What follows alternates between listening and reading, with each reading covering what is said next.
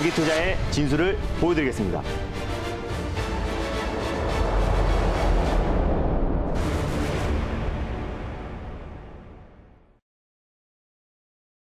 김준호의 달릴까 말까 안녕하세요 아나운서 정수지입니다. 반갑습니다. 엠뱅골드 김준호 매니저입니다. 네 매니저님 어제는 또 우리가 한국은행의 사상적 빅스텝을 시행하면서 또 그래도 불확실성이 해소되면서 상승 마감했었는데요. 네. 간밤에는 미국의 소비자 지수가 급등하면서 지금 코스피는 네. 하락세를 보이고 있고 코스닥 역시 혼조세를 보이고 있습니다. 오늘 시장 어떻게 바라봐야 할까요? 그래도 이제 국내 증시가 나름대로 좀 선방하고 있는 모습이에요. 뭐 시장의 전망치는 CPI 지표가 8.8% 증가 할 것이다라고 예상했지만 9.1%. 근데 사실 이 부분도 이제 백악관 대변인을 통해서 이번에 CPI 지표가 굉장히 높게 나올 수 있다라고 전망을 했고요. 그리고 그 이후에 지금 어떤 CPI 지표는 한물간 지표다라고 언급을 했습니다. 이미 국제 유가와 또 그리고 원자재 가격이 급락하고 있는 상태이기 때문에 6월 중순을 기점으로 인플레이션이 꺾이고 있다는 신호가 나와줬기 때문에 CPI 지표 발표 이후에 6월만큼의 어떤 시장 급락은 제한적일 수밖에 없다라고 보고 있습니다. 6월에는 이미 3개월 연속 시장이 꺾인다라는 어떤 기대감이 있었던 상태에서 시장 전망치를 훌쩍 뛰어넘는 8.6%를 기록하면서 시장의 좀 급락세가 이어졌었는데 이미 이제 이번 달에 발표될 CPI 지표는 전월 대비 높다라고 이미 시장에선 반영이 되었던 상태고요. 이번 달에 FMC 회의까지 바로 이어지다 보니까 아무래도 이번에 이제 FMC 회의에서 이제 100bp 한 번에 이제 울트라 스택까지도 금리를 인상할 수 있다라는 우려감이 좀더 높아지고 있는 상태이기 때문에 시장이 그동안은 강력하게 올라가는 건 좀 제한적이지만 그래도 이번 달만 지나고 나면은 시장의 가장 컸던 불확실성들이 해소될 수 있다. 왜냐하면 2분기 지금 실적 시즌이 시작되면서 네. 어떤 실적에 대한 우려감이 이번 달에 이제 불확실성 해소가 될 가능성이 높고요. 또 CPI 지표가 이제 피크아웃 신호가 나와주고 있는 상태이기 때문에 다음 달에 발표될 CPI에서는 어느 정도 안정을 찾을 가능성이 굉장히 높고 또 FMC에서 이제 이번에 강력한 초매파적인 그 긴축이 나온다고 하더라도 다음 달은 FMC가 열리지 않고요. 9월 달, 10월 달에는 서서히 좀 완화적인 스탠스가 나오거나 또는 11월 중간 선거를 앞두고 약간의 완화적인 스탠스가 나온다고 했을 때는 시장 은 환호할 수밖에 없다라고 보고 있습니다. 그래서 강력하게 올라갈 만한 재료는 뭐 전쟁이 끝나야 되는데 네. 어, 전쟁이 끝나기 전까지는 강력하게 반등이 나올 만한 재료는 없는 상태에서 시장의 변동성만 줄어든다라고 보시면 돼- 어, 줄어들어도 굉장히 좋다라고 보고 있습니다. 왜냐하면은 최근에 지금 단기 주도 섹터로 지금 제약바이오 섹터가 시장 대비 강한 모습을 보여주고 있잖아요. 그래서 당분간은 단기 주도 섹터인 제약바이오 섹터에 집중하면은 시장이 급락이 나와도 매크로적인 이슈로 급락이 나와도 하락은 좀 제한적일 수 있고 강력한 시세가 좀 순환매가 돌면서 분출되고 있기 때문에 달릴까 말까해서 계속해서 소개해드리는 제약바이오 종목들 관심 있게 보셨으면 좋겠습니다. 네, 이번 달에 이렇게 이벤트들이 많이 있어서 네. 또 증시의 변동폭이 커지고 있는데 실적에 대한 우려가 없는 종목이 하나가 있잖아요. 맞습니다. 저희가 여러 차례 또 리뷰를 했었던 루트로닉 네. 오늘도 또 좋은 수익률을 기록을 해서 첫 번째로 살펴보도록 하겠습니다. 네. 7월 초에 말씀드렸던 종목인데요. 뭐 음. 오늘은 어, 피부 미용 의료기 관련 종목들이 일제히 반등 흐름이 나와주고 있습니다. 뭐 클래시스부터 시작해가지고 국내 대표 피부 미용 의료기기 관련 종목들이 안정적인 반등 흐름이 나와주고 있는데 전일 예, 먼저 루트로닉이 강력한 반등 흐름이 나와줬습니다. 사실 이 피부 미용 의료기기 같은 경우는 이제 계절적 비수기임에도 불구하고 이런 매크로적인 이슈에도 3분기 연속 사상 최대 실적이 나왔던 기업이 루트로닉이다가 말씀드렸었고 해외 판매 비중이 굉장히 높다라고 말씀드렸습니다. 한 86% 비중이 해외 매출에서 발생하고 있고요. 그 중에서 70% 이상이 뭐 유럽과 또 일본, 또 미국 내 선진국 중심의 어떤 매출 비중이 꾸준하게 확대하고 있는 기업이기 때문에 어떤 매크로적인 이슈에 좀 빗나갈 수 있는 종목이고 또 2분기 실적 시즌이 도래한 만큼 오히려 어, 다시 한번 하반기 가면 갈수록 실적 성장이 더욱더 기대가 되는 종목이다라고 말씀드렸습니다.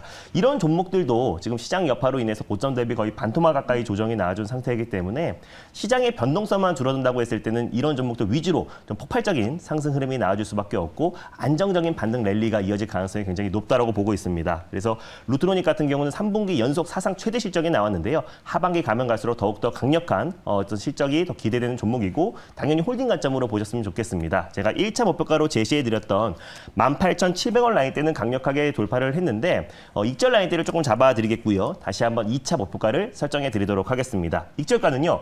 17,500원 라인대로 익절 라인대를 잡고 대 응하셨으면 좋겠고요. 2차 목표가는 24,400원 라인대를 설정해 드리도록 하겠습니다. 수익 축하드립니다. 네, 수익 축하드립니다. 루트로닉의 익절가는 2,500원으로 네. 상향해 주셨고요. 2차 목표가는 24,400원 기억해 두시면 좋을 것 같습니다. 이렇게 소개해 주신 종목들 중에서도 제약바이오 업종들이 또 네. 맞습니다. 이렇게 단기적으로 좋은 수익률을 내고 있는데요. 바로 어제 소개해 주셨던 경남제약도 네. 또 오늘 리뷰를 해보도록 하겠습니다. 제가 최근에 이제 셀트리온 그룹주를 중심으로 진단키트 관련 종목들을 관심 있게 보자라고 말씀드렸 어요. 그래서 SD바이오 센서도 그때 이틀 만에 바로 10에서 20% 이상의 강력한 상승 흐름이 나와줬고 최근에 말씀드렸던 진 매트리스도 지금 같은 시장에서도 안정적인 반등 흐름이 나와주고 있습니다. 그래서 휴마시스도 전일 강력한 시세가 분출되면서 20% 가까운 수익이 나와줬고 휴마시스의 후속주로 제가 이제 경남제약을 말씀드렸었는데 오늘 또 어제 좀 안정적인 반등 흐름이 나와줬습니다. 지금은 매수가 위에 한 5% 정도 수익이 좀 지켰을 거라 보고 있는데 이제 국내 브랜드 이제 레모나라고 어, 누구나 다 아실 겁니다. 근데 중국 시장에 진출하면서 꾸준하게 지금 매출 성장이 이뤄지고 있는 기업이고 또 이제 자회사 경남제약 스퀘어를 통해서 NFT 사업을 이제 본격적으로 진행하고 있는 기업이라고 말씀드렸습니다. 그리고 래피젠과 래피젠에 지금 이제 코로나 19 진단 키트 관련해서 공급 계약을 체결한 기업이기 때문에 앞으로 이제 코로나 재확산세에 힘입어서 진단 키트의 수요는 증가할 수밖에 없다라고 보고 있어서 안정적인 반등 추세는 이어질 수 있고 일단은 말씀드렸는데 일단 소정의 목적은 달성했는데요. 다시 한번 좀 손절 라인대를 상향 조치해 드리겠고 2차 목표가를 재설정해 드리도록 하겠습니다. 손절가를 원래 2,500원 말씀드렸는데요. 2,550원으로 손절 라인대를 좀 상향 조치하도록 하겠고요. 2차 목표가는 3,400원 그대로 제시해 드리도록 하겠습니다.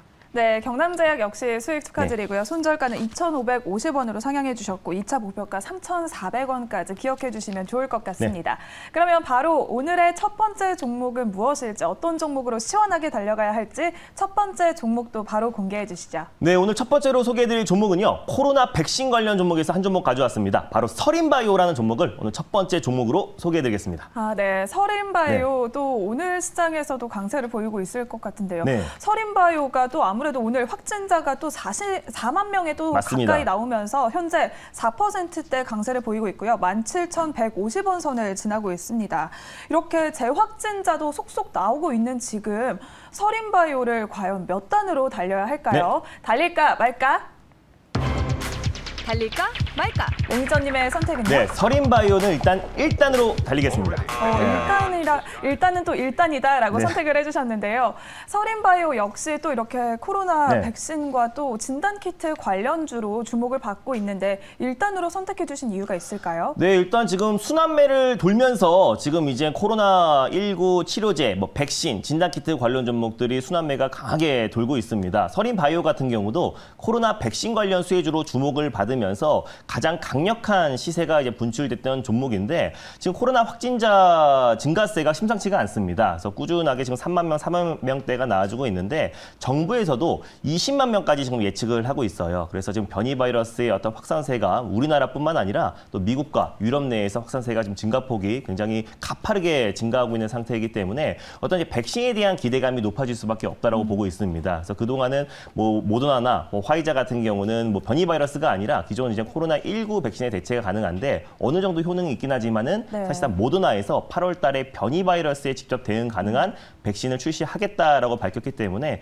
백신에 대한 기대감이 점점 높아지고 있는 상황에서 또 부스터샷도 이제 50대 미만까지도 지금 접종하라고 공고가 나와준 상태이기 때문에 백신 관련 종목들 충분히 추가적인 상승 여력이 있다라는 판단에 일단을 먼저 말씀드렸습니다. 네, 서린바이오가 모더나 관련주 또 네. 변이 바이러스를 대응을 하겠다라고 맞습니다. 이렇게 이야기가 나왔었는데 아무래도 코로나 확진자가 보면은 뭐 오미크론과 또 오미크론 변이 바이러스에 네. 대해서 또 많은 확진자가 나오고 있는 상황인데요. 맞습니다. 또 그렇다면 서린바이오에는 어떤 체크 포인트가 있을까요? 네, 일단 뭐 서린바이오 같은 경우는 mRNA 합성 서비스를 국내에서 유일하게 공급하고 있는 기업이라 보시면 될 것 같습니다.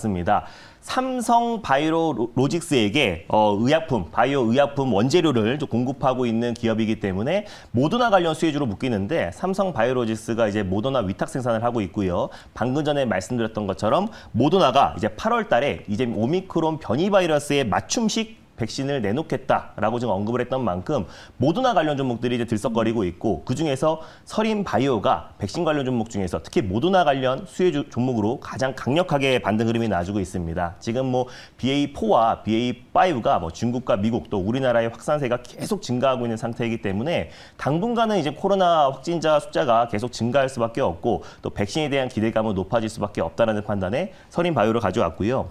어, 이 종목 같은 경우는 치매 조기 진단 진단 키트 관련해서 이제 국제과제에 선정된 기업입니다. 2016년도부터 국제과제에 선정된 기업으로서 혈액 마이크로 RNA를 이용해서 치매 저 치매 조기 진단 키트를 지금 개발하고 있는 기업입니다. 서린바이오와 함께 또 연세대학교와 또 인하대학교와 합쳐서 지금 계속해서 지금 상용화를 추진하고 있는데 빠르면 올해 안에 또 치매 조, 기 진단 키트 관련해서 또 상용화를 추진될 가능성이 굉장히 높은 상태이기 때문에 치매 관련 대표 종목으로도 부각될 가능성이 굉장히 높다라고 보고 있고 뭐 진단 키트 관련해서 그 외에도 임신 중독증 조기 진단 키트도 같이 동시에 좀 개발하고 있는 기업이기 때문에 진단 키트의 수요가 앞으로 뭐 증가할 수밖에 없다라고 좀 보고 있습니다.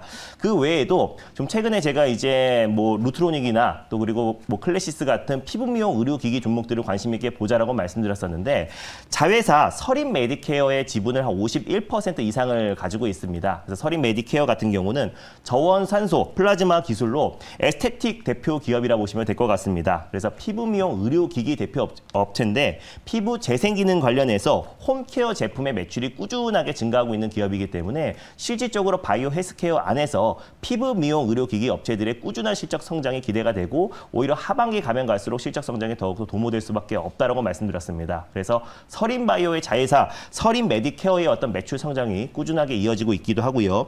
천연 발효 기술로 또 이제 어, 기술이 있는 또 이제 cosmetic 화장품 판매 업체의 지분 제노나인의 지분도 80% 이상 가지고 있는 기업이기 때문에 화장품의 어떤 매출 성장과 또 피부 미용 의료기기의 매출 성장에 힘입어서 모더나 관련 어, 대표 종목으로 부각될 수밖에 없다라는 판단. 판단에 서린바이오라는 종목을 오늘 첫 번째 종목으로 가져왔습니다. 네, 서린바이오는 모더나 관련주 또 진단키트 관련주로 네. 불리면서 또 이렇게 코로나가 끝난 후에도 또 치매 질환자도 굉장히 맞습니다. 많으셔서 이렇게 조기 진단 키트를 개발을 하면 또 이렇게 앞으로 전망도 밝을 네. 것이다라고 생각이 드는데요.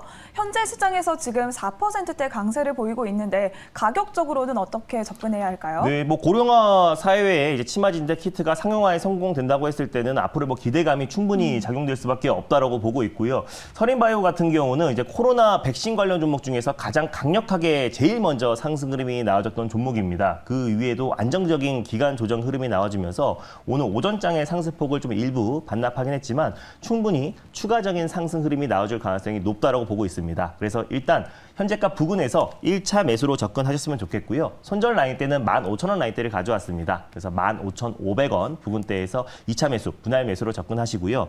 1차 목표가는 일단 19,000원 라인대를 설정해 드리겠고 2차 목표가는 25,500원을 설정해 드리도록 하겠습니다. 네, 서린바이오의 1차 목표가는 19,000원, 2차 목표가는 25,500원, 손절가는 15,000원으로 가격 전략 꼼꼼하게 세워봐 주셨습니다. 그렇다면 바로 두 번째 종목으로도 넘어가 보도록 하겠습니다. 두 번째로 만나볼 종목 은 무엇일까요? 네, 콘텐츠 기업 한 종목을 가져왔는데요. 바로 바른손이라는 종목을 오늘 두 번째 종목으로 소개해 드리겠습니다. 아, 네. 또 바른손이 또 지금 인기 있는 우영우 드라마 아시죠? 네. 드라마를 제작한 또 에이스토리와 제휴를 체결했다라는 소식을 네. 들었었는데 현재 시장에서도 또 2%대 강세를 보이면서 2,795원 선을 지나고 있습니다. 그렇다면 바른손은 오늘 이 시점에서 몇 단으로 달려야 할까요? 달릴까요? 말까요? 달릴까 말까? 매니저님의 선택은? 네, 바른 손은 2단으로 달리겠습니다.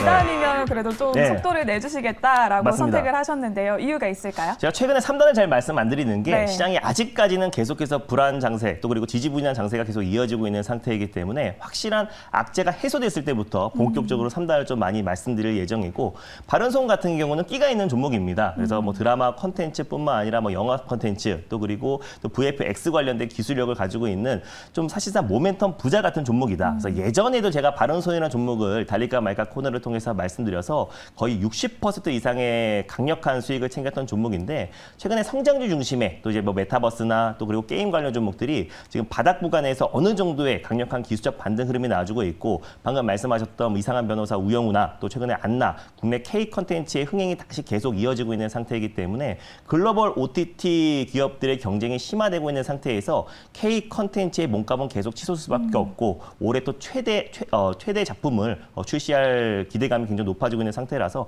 바른손이라는 종목으로 두 번째 종목으로 가져왔습니다. 네, 바른손이 또 이렇게 콘텐츠 관련주이기도 네. 하지만 또 두나무 관련주로도 맞습니다. 불리기도 하잖아요. 그렇다면 두나무에는 모멘텀 부자다라고 말씀을 해주신 만큼 네. 어떤 체크 포인트들이 있을까요? 네, 일단 최근에 이제 VFX 기업인 투썸 디지털 아이디어와 이제 합병을 하면서 사실 뭐 덱스터라든지 위지윅 스튜디오, 뭐 자이언트스텝과 같은 VFX 특수 효과 기술을 가지고 있는 국내 대표 기업이라 보시면 될 것 같습니다. 일단 뭐 투썸 디지털 아이디어 같은 경우는 뭐 대표적인 흥행작이 도깨비 또 그리고 부산행, 뭐 감기에도 특수 효과 VFX 관련된 기술을 참여한 기업이기도 하고요. 월트 디즈니의 파트너사이기도 합니다. 그래서 어, 절대적인 기술력을 가지고 있는 기업이고 또 국내 대표하는 VFX 기업이기 때문에 최근에 합병하면서 또 바른손의 어떤 컨텐츠 사업이 본격적으로 더욱더 투자가 확대될 가능성이 높다라고 좀 보고 있어요. 최근에 tvN과 또 키이스트의 드라마인 별들에게 물어봐에도 또 VFX 관련된 용역 체결 계약을 체결하면서 또 한 차례 크게 또 시세가 한번 분출됐었는데 VFX 메타버스 관련해서 대표 수혜주로도 부각될 가능성이 굉장히 높고 자회사 중에 바른손 랩스가 있습니다. 이미 NFT 플랫폼 마켓을 launching을 했고요. 거기에서 이제 미술품, 또 NFT뿐만 아니라 영화 컨텐츠, 음악 컨텐츠까지도 NFT화해서 이제 상품을 거래하겠다라고 언급을 했습니다. 실적으로 NFT를 하겠다, 어, 사업을 추진하겠다라는 기업들은 굉장히 많은데 실질적인 사업을 지금 영위하고 있는 기업들은 그렇게 많지가 않습니다. 근데 이제 바른손의 자회사 바른손 랩스 같은 경우는 지금 이제 NFT 플랫폼 사업을 꾸준하게 지금 진행을 하고 있는 기업이기도 하고요. 또 이제 자회사 대표적인 자회사가 이제 바른손 ENA죠. 대표적인 영화 제작 업체고 봉준호 감독과 지금 앞으로 협업을 두 편 이상 더 한다라고 밝혔습니다. 그래서 기생충이 오스카 감독상을 또 수상을 했고 또 앞으로 추가적으로 어떤 영화를 두 편 이상 어, 제작을 한다라고 언급을 했던 만큼 앞으로 우리가 조금 더 어, 기대해봐도 좋을 것 같습니다. 그래서 영화 제작에 대한 기대감이 높아지고 있고 최근에 이제 바른손이 카카오 제작 영화에 300억 투자한다는 소식이 나와주면서도 한 차례 큰 폭의 시세가 분출되었는데 방금 말씀하셨던 것처럼 두나무의 지분도 가지고 있습니다. 뭐 크진 않고 0.1% 정도의 0.2% 정도의 지분을 가지고 있는데 두나무 상장에 대한 기대감과 NFT 사업의 또 확장성 그리고 또 영화 콘텐츠 제작의 업체 또 메타버스 관련해서 대표 수혜주 여러 가지 모멘텀이 있는 종목이기 때문에 시장이 안정화됐을 때 좀 폭발적인 어, 반등 흐름이 나와줄 수 있을 거라 판단돼서 바른손이라는 종목을 가져왔습니다. 네, 바른손이 이렇게 미래 성장성도 굉장히 네. 좋아 보이는데요. 그렇다면 가격적으로는 어떻게 접근하면 좋을까요? 네, 어제 좀 강력하게 시세가 분출됐다가 윗꼬리를 좀 달긴 했는데요. 네, 충분히 현재는 또 VI가 걸려 있다고 하네요. 네, 맞습니다. 네. 그래서 충분히 이제 바닥 구간에 위치해 있다. 주가는 뭐 반토막 이상 조정 흐름이 나와준 상태에서 최근에 성장주 중심의 기술적 반등, 또 순환매가 빠르게 진행되고 있는 기업이기 때문에 바른손만큼 또 기술력이 입증된 기업이고 또 사실상 바른손 ENF를 통해서 사실상 영화의 컨텐츠 제작에 대한 어떤 기대감이 높은 기업도 없다라고 좀 보고 있습니다. 그래서 일단 지금 시세가 좀 분출되면서 가격을 조금 다운시켜 드릴게요. 제가 1차 목표가를 3,000원을 제시해 드린 상태라서 2,700, 어, 2,800원 미만에서 일단 1차 매수로 접근하시고요. 그리고 다시 한번 제가 손절 라인대를 2,400원 말씀드렸는데 2,500원 부근대에서 2차 매수하셨으면 좋겠습니다. 시세가 좀 분출되는 바람에 2,700원, 2,800원 미만에서 1차 매수 그리고 2,500원 초반 부근대에서 2차 매수로 접근하셨으면 좋겠습니다.